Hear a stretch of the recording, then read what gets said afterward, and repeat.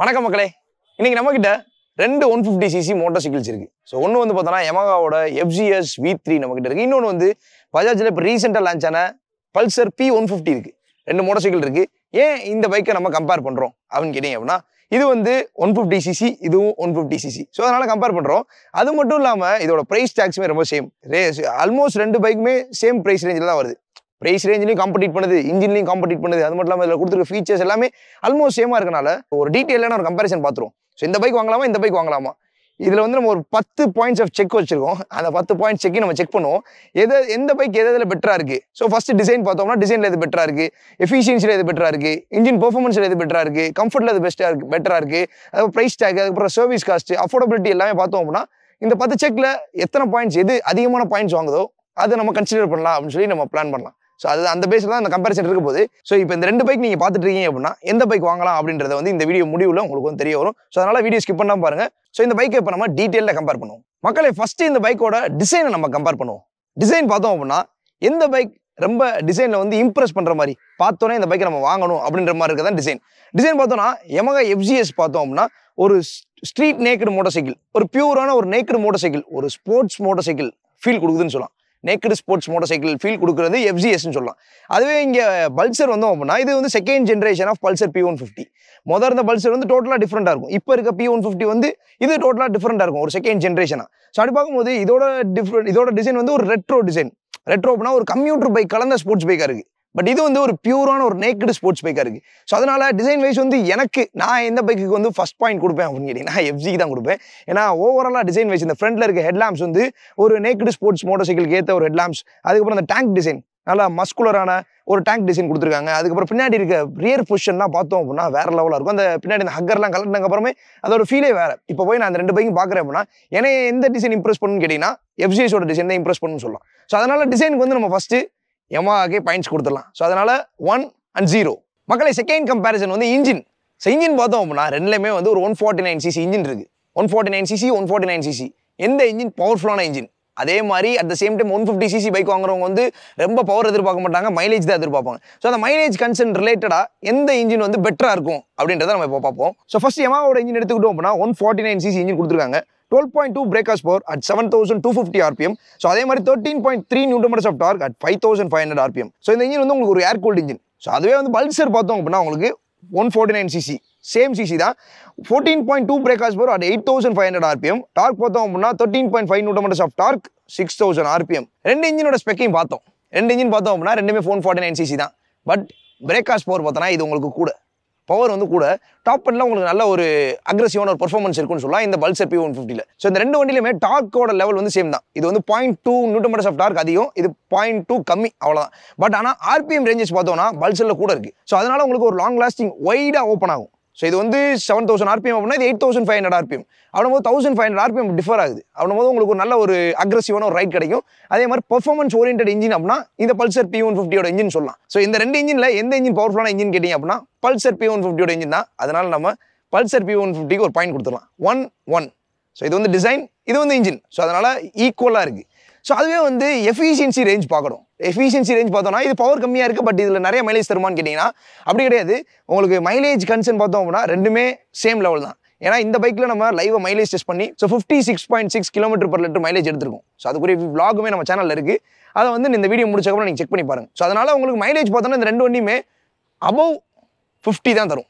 Above fifty நீங்கள் தாராளமாக எதிர்பார்க்கலாம். ஸோ அதனால் மைலேஜ் ரெண்டு வண்டியுமே ஆல்மோஸ்ட் சேம் தான் தரும். ஸோ இன்ஜின் பவர் கம்மினால பவர் அதே மைலேஜ் அதிகமாக தருமான்னு கிடையாது. உங்களோட ரைடிங் ஸ்டைலை பேஸ் பண்ணி தான் உங்களோட மைலேஜ் ஸோ அதனால் நீங்கள் ஜென்டலாக இந்த வண்டி ஹேண்டில் பண்ணீங்க மெயின்டைன் பண்ணி ஓட்டினீங்க அப்படின்னா நல்ல மைலேஜ் தரும். நெக்ஸ்ட் வந்து இந்த ரெண்டு மோட்டர் சைக்கிளோட லைட்ஸை கம்பேர் பண்ண போகிறோம் லைட்ஸ் பார்த்தோம்னா லைட்ன்றது ரொம்ப முக்கியமான ஒன்று இந்த பைக்கில் ஸோ அப்படி பார்க்கும்போது இப்போ ஹாலஜன்லாம் கொஞ்சம் கொஞ்சமாக குறைஞ்சிக்கிட்டே வருது. எல்இடிஸ் வளர்ந்துக்கிட்டே இருக்குன்னு சொல்லலாம். எல்இடிஸ் தான் மேக்ஸிமம் சின்ன சின்ன பைக்ஸில் கூட யூஸ் பண்ணுறாங்க இந்த பைக்ஸில் கூட நமக்கு projected bi functional LED projectors கொடுத்துருக்காங்க. ஸோ அப்படி பார்த்தோம்னா இதில் ப்ரொஜெக்டட் எல்லாம் இதில் வந்து நார்மல் எல்இடி எல்லாம் ஸோ ரெண்டுக்கும் விசிபிலிட்டி எப்படி இருக்கும் அப்படின்னு கேட்டிங்கன்னா இது இதோட த்ரோவோட இது கொஞ்சம் பெட்டராக இருக்கும்னு சொல்லலாம். ஏன்னா உங்களுக்கு கொஞ்சம் ஒய்டாக இருக்கும். ப்ரொஜெக்டர்னால கொஞ்சம் வியூ விசிபிலிட்டி வந்து அதிகமாக இருக்கும். ஸோ அதனால ஹெட்லைட் பார்த்தோன்னா ஹெட்லைட் த்ரோ வந்து உங்களுக்கு பல்சர் பி ஒன் ஃபிஃப்டியில் பெட்டராக இருக்கும்னு சொல்லலாம். இந்த வண்டியை கம்பேர் பண்ணும்போது. எஃப்ஜிஎஸை கம்பேர் பண்ணும்போது பல்சர் ஒன் ஃபிஃப்டியோட ஹெட்லாம்ஸோட விசிபிலிட்டி வந்து நல்லா இருக்கும். ஒய்டரான த்ரோ இருக்கும். அதனால நீங்கள் கான்ஃபிடென்ட்டாக வந்து ஓட்டலாம். பட் இதில் வந்து அப்போ ரொம்ப ஒஸ்ட்டாக இருக்குமா அப்படின்னு கேட்டிங்கன்னா கண்டிப்பாக கிடையாது. இதில் வந்து இதை கம்பேர் பண்ணும்போது கொஞ்சம் கம்மியாக இருக்கும். அவ்வளோதான் இந்த பைக்குக்குரிய லெவலில் கொடுத்துருக்காங்க. பட் இது கொஞ்சம் ரீசெண்ட் அப்டேட் ஆனதுனால கொஞ்சம் நல்லா ஸ்பெசிஃபைடாக கொடுத்துட்டாங்கன்னு சொல்லலாம். ஸோ அப்படியே டெய்ல் பார்த்தோம்னா டெய்ல் வந்து உங்களுக்கு பி ஒன் ஃபிஃப்டியில் எல்இடி கொடுத்துருக்காங்க. நல்ல விஷயம். ஸோ லுக் வைஸ் வந்து நல்லா பார்த்தோன்னே கவர்ந்து இருக்கிற மாதிரி டெயில் லேம்ப்ஸ் வந்து கொடுத்துருக்காங்க எல்இடியில் ஸோ இதில் பின்னாடி பார்த்தோன்னா உங்களுக்கு ஹேலஜன் பல்பு தான். டிசைனும் வந்து பெருசாக இம்ப்ரெஸ் பண்ணாது. டெயில் லைட்டோட டிசைன் வந்து ரொம்ப பெருசாக இம்ப்ரெஸ் பண்ணாது. பட் ஆனால் ரியர் செக்ஷன் ஓவரால் பார்த்தோன்னா இந்த பைக்கோட டெயில் செக்ஷன் நல்லா இருக்கும். அதே மாதிரி இண்டிகேட்டர்ஸ் வந்து ரெண்டுமே ஹேலஜன் பல்பு தான். ரெண்டுமே ரொம்ப ஆடாக இருக்குன்னு சொல்ல முடியாது. டீசெண்டான சைஸில் டீசெண்டாக கொடுத்துருக்காங்க. லைட்ஸில் வந்து வின் பண்ணுறது யாருன்னு கேட்டிங்கன்னா Bajaj Pulsar P one fifty தான். ஸோ அதனால so Pulsar P one fifty ரெண்டு பாயிண்ட் எஃப்ஜிஎஸ் ஒரு பாயிண்ட் ஸோ நெக்ஸ்ட் கம்பேரிசன் வந்து இந்த பைக்கோட சீட்ஸ் சீட்ஸ் பார்ப்போம். சீட்ஸ் பார்த்தோன்னா இதில் வந்து நல்லா உங்களுக்கு ப்ராடான சீட்ஸ் கொடுத்துருக்காங்க பி ஒன் ஃபிஃப்டியில் ஸோ ஃபஸ்ட் பி ஒன் ஃபிஃப்டியோட சீட் செக் பண்ணிடுவோம். ஸோ உட்காந்து பார்த்தோம்னா எனக்கு தெரிஞ்சு கம்ஃபர்டபுளாக தான் இருக்கும். நல்லா ஒய்டாக இருக்குது அதனால் எனக்கு வந்து சப்போர்ட் ஃபுல்ஃபில் பண்ண மாதிரி இருக்குது ஸோ அதே மாதிரி இதில் ஸ்பிளிட் சீட்ஸ் பி ஒன் ஃபிஃப்டியில் ரெண்டு வேரியன்ஸ் இருக்குது ஒன்று சிங்கிள் டிஸ்க் இன்னொன்று ட்வின் டிஸ்க் சிங்கிள் டிஸ்கில் உங்களுக்கு சிங்கிள் சீட்டாக வரும். அது ட்வின் டிஸ்கில் உங்களுக்கு ரெண்டு சீட்ஸ் வரும். ஸோ இது வந்து ஸ்ப்ளிட் சீட்ஸ்க்கும் சிங்கிள் சீட்டுக்கும் என்ன டிஃப்ரென்ஸ்னு கேட்டிங்கன்னா ரொம்ப பெரிய டிஃப்ரென்ஸ் இருக்காது. சீட்டோட சைஸ் சேம் தான் பட் வந்து ஸ்ப்ளிட் பண்ணி கொடுத்துருப்பாங்க. உங்களுக்கு வந்து பின்னாடி இருக்க சீட்டை வந்து ஈஸியாக ரிமூவ் பண்ணிக்கலாம். உங்களுக்கு பார்க்கும்போது ஸ்போர்ட்டியாக இருக்கும். ஸ்ப்ளிட் சீட் சிங்கிள் சீட்லேயே வந்து ரெண்டு வகையான பீப்புள்ஸை பிரிக்கலாம். ஒன்று வந்து யங்ஸ்டர்ஸ் வந்து வாங்கணும்னு நினைக்கிறாங்கன்னா ஸ்ப்ளிட் சீட் நல்லா இருக்கும். ஃபேமிலி பர்சன் வாங்கணும்னு நினைக்கிறாங்கன்னா சிங்கிள் சீட் நல்லாயிருக்கும் ஸோ அதனால் மக்களோட கன்வீனியன் பேஸ் பண்ணி இந்த வேரியண்ட்டை கொடுத்துருக்காங்கன்னு சொல்லலாம். ஸோ அதே மாதிரி ரெண்டு வேரியன்ஸும் வந்து உங்களுக்கு ஃபீச்சர்ஸ் டிஃப்ரென்ஸ் இருக்கும். ஸோ அப்படி வாங்கும்போது இதில் ஸ்பிளிட் சீட் இருக்குது ரைடிங் போஸ்டர் பாருங்கள் ரைடிங் போஸ்டர் வந்து சீட் நல்லா கம்ஃபர்டபுளாக இருக்குது ரைடிங் போஸ்டர் ரொம்ப குனிஞ்சு ஓட்டுற மாதிரிலாம் இல்லை. ஸோ அதனால் லீனியண்ட்டாக இருக்குது நீங்கள் வந்து டெய்லி சிட்டி க்ரூசிங் பண்ணுறதுக்கு நல்லா இருக்கும். இந்த பைக்கோட சீட்ஸ் எப்படி இருக்குது அப்படின்றத பார்த்துட்டோம். இப்போ எஃப்சிஎஸோட சீட்ஸ் பார்ப்போம். நெக்ஸ்ட் எஃப்சிஎஸ் எஃப்சிஎஸ் எப்படி இருக்குன்னு கேட்டிங்கன்னா எஃப்சியோட எஃப்சிஎஸோட பொசிஷனே வேறு. ஏன்னா அதோட ஹேண்டில் பார்ஸ் வந்து நமக்கு ஸ்பிளிட் சீட்ஸில் வந்து உங்களுக்கு கிளிப் ஆன் ஹேண்டில் பார்ஸ் அதே மாதிரி சிங்கிள் சீட்டில் உங்களுக்கு லைட் வெயிட்டான ஹேண்டில் பார் இந்த மாதிரியான லைட் வெயிட்டான ஒய்டான ஹேண்டில் பார்ஸ் கொடுத்துருப்பாங்க. இது வந்து நல்லா இருக்குன்னு சொல்லலாம். நல்லா ரைஸ் பண்ணி கொடுத்துருக்காங்க. அதனால பொசிஷன் வந்து இது கொஞ்சம் நல்லா இருக்குன்னு சொல்லலாம். அதே மாதிரி இதே மாதிரி ரைசர்ஸ் போட்டு தான் பி ஒன் ஃபிஃப்டிலையும் கொடுப்பாங்க. ஸோ அதனால ரொம்ப பெரிய டிஃபரன்ஸ் கிடையாது. இதில் தான் இது வருது நம்மளுக்கு கிடையாது. அதுலேயும் உங்களுக்கு இருக்குது சுவிச்சஸோட குவாலிட்டி பார்த்தோம் அப்படின்னா பஜாஜில் இன்னும் கொஞ்சம் ப்ரீமியமாக இருந்துச்சுன்னு சொல்லலாம். இதோட சுவிச்சஸ் குவாலிட்டி கம்பேர் பண்ணும்போது பஜாஜில் ப்ரீமியமாக கொடுத்துருக்காங்க. இது ரொம்ப ஒரு டூ இயர்ஸ் பிஃபோர் வாங்கின மோட்டர் சைக்கிள்னால இதோட கண்டிஷன் இப்போ கரண்ட்டில் நமக்கு தெரிஞ்சிருச்சு. ஸோ அப்படி பார்க்கும்போது ஸ்விட்சஸ் குவாலிட்டி அதில் கொஞ்சம் நல்லா இருக்குது கரண்ட்டில் வந்த மாடல்னால ஸோ இப்போ பொசிஷன் பார்ப்போம். பொசிஷன் பார்த்தோம் அப்படின்னா ஓகே நல்லா அடாப்டிவான பொசிஷன் தான். இதையும் வச்சு நீங்கள் சிட்டி க்ரூசிங் பண்ணுறதுக்கு நல்லா இருக்கும். யங்ஸ்டர்ஸ்க்கு நல்லா இருக்கும். ஃபேமிலி பர்சன்ஸ்க்கு நல்லா இருக்கும். இப்போ வந்து இதில் என்னன்னா உங்களுக்கு சிங்கிள் சீட்டாக கொடுத்துருக்காங்க எஃப்சியில் சிங்கிள் சீட்டாக கொடுத்தனால இதில் ஸ்ப்ரெட் சீட் ஆப்ஷனே கிடையாது. இந்த அளவுக்கு ஸ்போர்ட்டியாக டிசைன் பண்ணிருக்காங்க. ஒரு ஸ்ப்ரெட் சீட் கொடுத்துருக்கலாம் so P one fifty compare பண்ணும்போது இதில் கம்ஃபர்ட் கம்மி. பட் சீட்டோட விட் நல்லா இருக்கு. பட் ஆனால் சீட்டோட கம்ஃபர்ட் கொஞ்சம் கம்மி தான் சொல்லணும். அதே மாதிரி ஸ்ப்ளிட் ஷீட்ஸும் மிஸ்ஸிங்காக இருக்குது ஏன்னா இந்த அளவுக்கு ஸ்போர்ட்டியாக பைக்கை கொடுத்துட்டு ஸ்ப்ளிட் ஷீட் மிஸ் ஆனது அதில் கொஞ்சம் அந்த ஸ்போர்ட்டினஸை குறைக்கிற மாதிரி இருக்குன்னு சொல்லலாம். ஸோ அதுதான். இப்போ சீட் கம்ஃபர்ட்டில் பார்த்தோம் அப்படின்னா வின் பண்ணுறது பல்சர் பி ஒன் ஃபிஃப்டின்னு சொல்லலாம். ஏன்னா அதில் ஸ்ப்ரிங் சிங்கிள் சீட் ஆப்ஷன் மட்டும்தான் இருக்குது அதில் உங்களுக்கு ரெண்டு ஆப்ஷன் இருக்குது நீங்கள் எந்த ஆப்ஷன் சூஸ் பண்ணிக்கலாம். அதே மாதிரி பில்லியன் சீட் வந்து நல்லா ஒய்டாக இருக்குது அதனால தான் அதுக்கு பாயிண்ட் கொடுக்குறேன். ஃபேமிலி பர்சனாக இருந்தாலும் நீங்கள் அந்த பைக் யூஸ் பண்ணலாம். ஏன்னா அந்த அளவுக்கு ஒய்டாக இருக்குது இப்போ லேடிஸ் யாரும் உட்காடுறாங்க அப்படின்னா ஈஸியாக உட்காந்து போயிடலாம். ஸோ பின்னாடி இருக்க பில்லியன் சீட்டோட வித் வந்து கம்மி. ஸோ அதனால தான் நான் வந்து அதுக்கு பாயிண்ட் கொடுத்தேன். ஸோ அப்போ வந்து Bajaj Pulsar P one fifty மூணு பாயிண்ட் எஃப்ஜி ஒரு point so next comparison tyres tyres பார்த்தோன்னா டயர்ஸ் நான் சொன்னோன்னே வந்து பாயிண்ட் டேரெக்டாக நம்ம எஃப்ஜிக்கே கொடுத்துடலாம். ஏன்னா வந்து இதில் ஒன் ஃபிஃப்டி சிசி பைக்ஸில் இப்படிப்பட்ட ஒரு ஒய்டரான ஃபேட்டான டயர்ஸ் வந்து எந்த பிராண்டில் எந்த மோட்டர் சைக்கிளுமே இல்லைன்னு சொல்லலாம். ஏன்னா அந்த அளவுக்கு ஒய்டாக வந்து கொடுத்துருக்காங்க. ஸோ ஒரு better stability and for better comfort and better ride quality அதுக்காண்டி வந்து நல்ல ஒய்டான டயர்ஸ் கொடுத்துருக்காங்க. எஃப்ஜிஎஸ் தான் ஆப்வியஸ்லி இந்த பாயிண்ட் நம்ம கொடுக்கணும். இருந்தாலும் டயர் சைஸை பார்த்துருவோம். ஸோ எஃப்ஜிஎஸோட ஃப்ரண்ட் டயர் பார்த்தோன்னா உங்களுக்கு ஹண்ட்ரட் பார் எயிட்டி ஃப்ரண்ட்லேயே ஹண்ட்ரட் பார் எயிட்டி கொடுத்துருக்காங்க. அது ரியரில் பார்த்தோன்னா one forty by sixty set of wheels பயங்கர ஒய்டான டயர்ஸ் டூ ஹண்ட்ரட் சிசி பைக்ஸ்ல கொடுக்குற டயர்ஸ் வந்து ஒன் ஃபிஃப்டியில் கொடுத்துருக்காங்க. ஸோ இப்போ பஜாஜ் பல்சரோட டயர்ஸ் ஸோ இப்போ இதை கம்பேர் பண்ணுவோம் இதில் எப்படி தான் இருக்கு டயர்னு கேட்டீங்கன்னா ஃப்ரண்ட்ல வந்து நைன்டி பார் நைன்ட்டி செக்ஷன் கொடுத்துருக்காங்க. ஸோ அதே ரியர்ல பார்த்தோன்னா உங்களுக்கு one ten by eighty section wheels வந்து கொடுத்துருக்காங்க. ஸோ அதனால டயர்ஸ்ல வந்து ஒரு பெரிய டிஃபரன்ஸ் இருக்குன்னு சொல்லலாம். ஸோ அதனால உங்களுக்கு வந்து எஃப்சிஎஸ்ல இந்த டயர் டயர்ஸ் பெருசாக கொடுத்தது உங்களுக்கு பெட்டர் ஸ்டெபிலிட்டி அதே மாதிரி பெட்டர் கம்ஃபர்ட் அதே பெட்டர் ரைட் குவாலிட்டி எல்லாமே நல்லா இருக்கும். அதனால ஆப்வியஸ்லி எஃப்சிஎஸ்க்கு இந்த பாயிண்ட் நம்ம கொடுத்துடலாம். ஸோ இப்போ வந்து எஃப்சிஎஸ்க்கு வந்து ரெண்டு பாயிண்ட் போயிருக்கு. பல்சர் பி ஒன் ஃபிஃப்டிக்கு மூணு பாயிண்ட் போயிருக்கு. அஞ்சு விஷயத்தை கம்பேர் பண்ணிருக்கோம். So next comparison brakes obviously ஒரு பைக் வாங்குறோம் அப்படின்னா இன்ஜின் என்ன தான் பவர்ஃபுல்லாக இருந்தாலும் இவ்வளோ விஷயங்கள் இருந்தாலும் பிரேக் பிடிக்கல அப்படின்னா எப்படி இருக்கும்? ஸோ அதனால பிரேக்ஸை கம்பேர் பண்ணுவோம். பிரேக்ஸ் பார்த்தோம்னா ஃபர்ஸ்ட் எஃப்சிஎஸ் எஃப்சிஎஸ் பார்த்தோம்னா ஃப்ரண்ட்ல வந்து two eighty two MM of disc ரியரில் வந்து two twenty MM of disc கொடுத்துருக்காங்க. ஸோ அதனால உங்களுக்கு வந்து டிஸ்கோட சைஸ் எஃப்சிஎஸ்ல பெருசு. அதே மாதிரி ஏபிஎஸ் யூனிட் பார்த்தோம்னா இதில் சிங்கிள் சேனல் ஏபிஎஸ் தான். One fifty by CC bikes ரெண்டுலையுமே உங்களுக்கு சிங்கிள் சேனல் தான் கொடுக்குறாங்க. ஆனால் பஜாஜில் என்னன்னு பார்த்தீங்க அப்படின்னா உங்களுக்கு வந்து ரெண்டு வேரியன்ட் உங்களுக்கு ட்ரம் வேரியண்ட்டும் இருக்குது காஸ்ட் எஃபெக்டிவாக வாங்கணும்னு நினைக்கிறவங்க பெட்டரான ஒரு பொதுவான பிரேக்கிங் நம்ம மெதுவாக தான் ஓட்டுவேன் அப்படின்ற பட்சத்தில் உங்களுக்கு ட்ரம் வேரியன்ட் கொடுக்குறாங்க.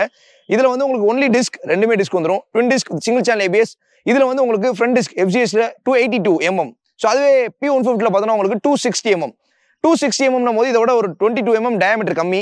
ஸோ அதனால் டிஸ்கோட சைஸ் இதில் தான் பெருசாக இருக்குது ஸோ பி ஒன் ஃபிஃப்டியில் ரியர் டிஸ்க் பார்த்தோன்னா டூ தேர்ட்டி எஃப்சிஎஸ் கம்பேர் பண்ணும்போது பி ஒன் ஃபிஃப்டியோட ரியர் டிஸ்க் பெருசுன்னு சொல்லலாம் ஸோ அதனால பிரேக்ஸ் பார்த்தோம்னா நம்ம பிரேக்ஸ் அப்ளை பண்ணி பார்த்தோம்னா ரெண்டுமே ஆல்மோஸ்ட் சேமாக தான் இருக்குது பட் ஸ்பெக் வைஸ் பார்த்தோம் அப்படின்னா எஃப்ஜிஎஸ்க்கு தான் நம்ம கொடுக்கணும்.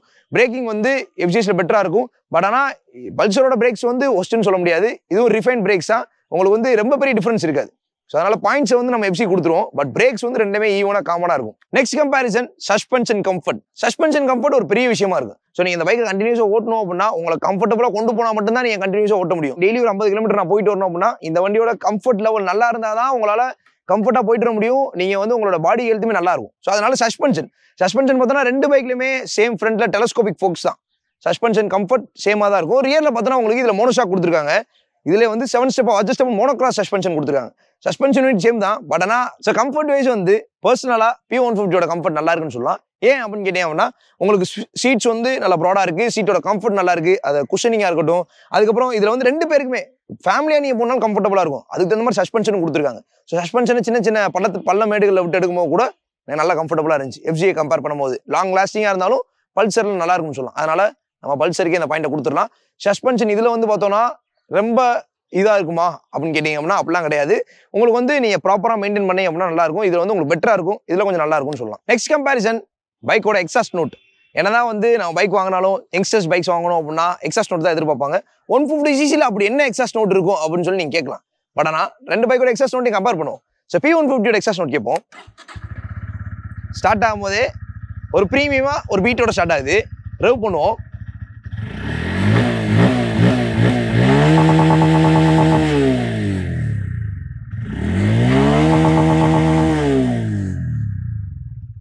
உங்களுக்கு வந்து அண்டர்பில்லி ஸ்டாக் தான் அதில் கொடுத்துருக்காங்க. எக்ஸாஸ் நோட் எப்படி இருக்கா அப்படின்னு கேட்டீங்கன்னா எனக்கு வந்து இந்த பி ஒன் ஃபிஃப்டியோட எக்ஸாஸ் நோட் லவுடாக இருக்க மாதிரி ஃபீல் ஆகுது. எஃப்ஜிஸும் கேட்டுருவோம். இந்த அண்டர்பெல்லி கொடுத்துருக்காங்க இதில். அண்டர் பெல்லி எக்ஸாஸ்ட் வந்து நம்ம என்எஸ் டூ ஹண்ட்ரட்ல பார்த்தோம் ஃபஸ்ட்டு ஸோ அப்புறம் அதுக்கப்புறம் என்எஸ் ஒன் சிக்ஸ்டியில் பார்த்தோம். ஸோ அதுக்கப்புறம் என் ஒன் சிக்ஸ்டியில் பார்த்தோம். ஸோ என் டூ ஃபிஃப்டியில் பார்த்தோம். ஸோ இந்த பி ஒன் ஃபிஃப்டிலையும் பஜாஜ் வந்து இந்த அண்டர்பள்ளி கொண்டு வந்துட்டாங்க. இந்த அண்டர்பள்ளின்ற பெல்லின்ற பஜாஜ் வந்து எல்லா பைக்கும் கொண்டு வந்துட்டாங்க. ஸோ அண்டர்பள்ளி இருக்கனால என்ன அட்வான்டேஜ்னு கேட்டிங்கன்னா ஸோ இது வந்து உங்களுக்கு சென்டர் ஆஃப் கிராவிட்டி பார்த்து பிளேஸ் பண்ணியிருக்காங்க ஸோ பைக்கோட வெயிட்டை வந்து கரெக்டான ரேஷியோவில் ஃபிக்ஸ் பண்ணியிருக்காங்கன்னு சொல்லலாம். அதனால அண்டர்பள்ளி கொடுத்துருக்காங்க. இதில் இன்னொன்று என்னன்னா அவங்களுக்கு உங்களுக்கு இது நம்ம இந்தியன் ரோட்ஸ்க்கு வந்து இந்த அண்டர்பள்ளி வந்து அந்த அளவுக்கு பெருசாக இதாக இருக்குது ஸோ அதனால நம்ம இந்தியன் ரோட் கண்டிஷன்ஸ்க்கு வந்து இந்த அண்டர்பள்ளி அந்த அளவுக்கு இது இருக்காது. ஏன்னா பெரிய பெரிய மேடு பழத்தில் நீங்கள் விட்டு எடுக்கும்போது அண்டர்பள்ளி லைட்டாக தட்ட வாய்ப்புகள் இருக்குது அது பில்லியனோட லோட் பண்ணி அப்படின்னா. நீங்கள் நார்மல் ரைடராக போனீங்கன்னா ஒரு பிரச்சனை இருக்காது. ஸோ தண்ணி ஒரு தேங்கி இருக்கு அதுக்குள்ளே விடுறதுக்கு நம்ம பயந்து தான் உள்ளே போகணும். ஏன்னா தண்ணி உள்ளே ஏற ஈஸியான வாய்ப்புகள் இருக்குது ஏன்னா கீழே தான் இருக்குது ஜஸ்ட் மேலே தான் நம்ம போகலாம். ஸோ இது ஒரு விஷயம் தான். அண்டர்பெல்லி கொடுத்தது இவங்க சென்டர் ஆஃப் கிராவிட்டி பார்த்து பிளேஸ் பண்ணியிருக்காங்க. இது வந்து டிசைனை எந்த விதத்திலும் ஸ்பாயில் பண்ணாமல் ஸ்லீக்காக கொடுத்துருக்குன்னு சொல்லலாம். இது ஒரு விஷயம். பட் ஆனால் இதில் ரெண்டு விஷயங்கள் இருக்குது இப்போ நம்ம எஃப்சிஎஸோட எக்ஸாஸ் நோட் கேட்போம். எஃப்சிஎஸோட எக்ஸாஸ் நோட் ஸ்டார்ட் பண்ணும்போதே இதுலேயும் ஒரு ப்ரீமியமான சவுண்ட் இருக்குன்னு சொல்லலாம். எக்ஸாஸ் நோட்டை கேட்போம்.